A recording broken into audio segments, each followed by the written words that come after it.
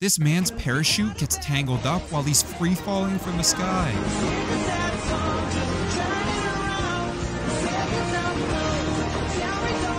It's a bad day to be that guy, but it's a good day if you hit that sub button.